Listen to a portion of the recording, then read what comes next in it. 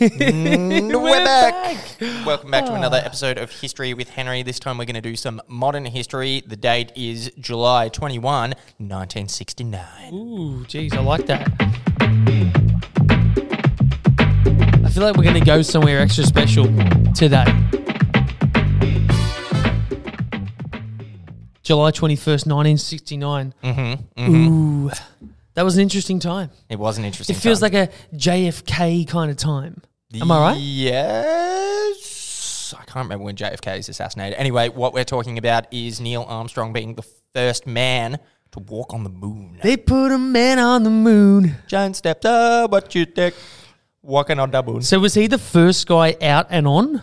He was the um, first dude to walk on the moon, and he's accompanied by three other dudes. One of them is uh, Buzz Aldrin. The other guy is some other guy. Some other guy Some was other. Neil the guy that said that's one small step for man, one giant leap for mankind. Yeah, I'm pretty sure. I'm pretty sure that's his off. quote. And then uh, Australia, little known fun fact, is uh, responsible for the televising of it to the world. Ooh, that's uh, that's pretty cool. Yeah, yeah, it's a it's a big thing. Sam Neill features in the film, affectionately known as the Dish. the dish. Ever seen it? Ever heard of it? No, haven't heard of it. Haven't Good seen name. It. Um, is it? Anyway, the real big victory of this is it's the uh, West's victory, specifically America's victory over the uh, Russian space program. America. America. Well, the question is, and everyone's always wondered, Mm. and it's a bit of a funny kind of conspiracy, but Mm. it's wide known that um, people think that it was staged. Which is a sick joke.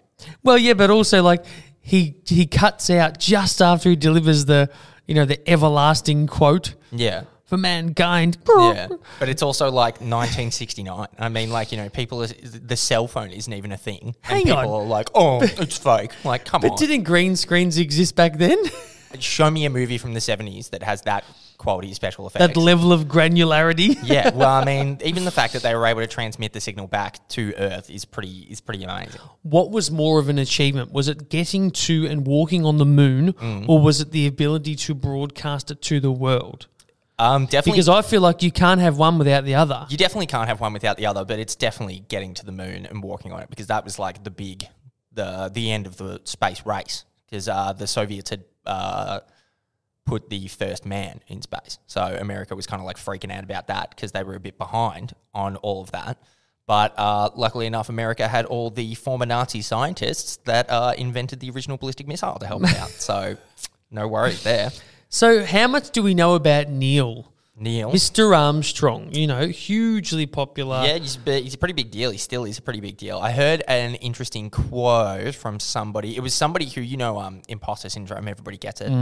Uh, it was, I want to say maybe it was Neil Gaiman. Anyway, um, whoever this person was was at an event and they were in a room with all these, you know, famous scholars, famous scientists, and all this kind of stuff. And then uh, they went to go get a drink from the bar, and uh, old fella turned around to him and was like, "Oh, I always feel, you know, what have I done to be in here?" And that dude was Neil Armstrong. So I mean, if the dude who walked Wow. on the moon first out of any human gets imposter syndrome, it can happen to happen to any of us. But um, yeah, the real victory of this is the is the the propaganda victory. You know, like this is a big deal. It shows the ingenuity of America, Amer- American Well, exceptionalism. Just, just think about back in that time when was it black and white still, or was it color? I think color existed, but I don't think it was like um But even so, it feels yet. like in 1969, Mm. it would have been such fanfare and such build up. Everyone would have been glued to the screen, no doubt. yeah. And then well, some people were. I know my mum was um alive to watch it, and they got like a TV set in the school to like watch it, and none of the kids cared. But I mean, classic, classic youth. Am I right? I wonder if a lot of people bought TVs off the back of being able to watch it. Surely. I mean, like it's you know momentous. It's awesome. Like people getting into space, like that's beast. When I know? think of that, I think of the MTV logo and the, you know, the guy on the moon with the MTV flag. Yeah, well, uh, also it's when uh, David Bowie came to prominence with his uh, Space Oddity song, Mm. uh, which he wrote. I it's actually about heroin addiction, but um, yeah, Mm. everyone was like, "Oh, it's about it's about the moon landing. That's exciting." Yeah. Um, So now that we now that we've done that, 1969, that's Yeah. done. yeah, So it's like, okay, we now planning to just go back regularly, or like what's the next? What was the next biggest thing? Because that's pretty big. Well, we did a few more uh, lunar missions. I think about under ten, but over five. Well, I've seen that movie Apollo 13 with Tom Hanks. Mm-hmm. Is that is that these guys or is that different guys? I think was that about Neil uh, Armstrong? and- the Apollo mission is the the one that got them to the moon the first time is just the first one. I think it's just called like the. Apollo mission, and then they did like multiple other ones. Um, but now they're currently constructing a space station to orbit the moon to begin construction on a lunar colony, or Hmm. research based at, at this point in time. But that will of course grow as all colonies do into Hmm. uh, into you know people living on the moon. It'll be game on. Yeah. Um, I feel like those guys um, had that huge moment in their careers of being the guys that went to the moon, Mm-hmm. and and that's nothing short of like amazing. Yep. Because obviously the selection process and the trust and the ability to Yep. to get there, um, but they would have had such an amazing career post doing that. Oh, I think I've seen one of them.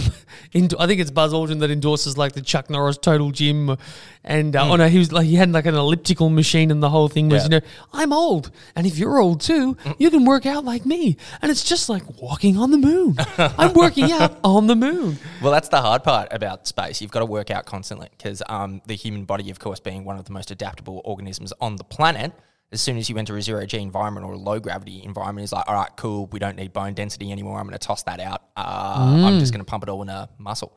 So, So, yeah. so does that mean you have to like what kind of working out would you have to do before you go on the moon to keep bone density? Because everyone knows that if you need to go somewhere where you need muscle, it's like okay, you you you lift weights. Mm. Yeah. But how the hell are you just drinking two liters of milk daily? There's um, there is a school of uh, physical exercise. I believe it's all like osteopathy and like osteostrong and Ah, that kind okay. of stuff. But that's all like bone focused, and you don't have to do it. Like for the guys who were going to the moon, that's you know, I would s- I think they're only there for like maybe a few hours, like a couple of days at max, And that was So- it. And then they come back. But Yeah. um, so you're probably all good there. But for the guys on the uh, International Space Station, which is now being deconstructed because we're going to build a new one um, they have to do it all the time. And then you Wow. get their fun videos that they always send if you've seen them like Yes. trying to eat uh, food. How long are they at the space station for? They stay for a year.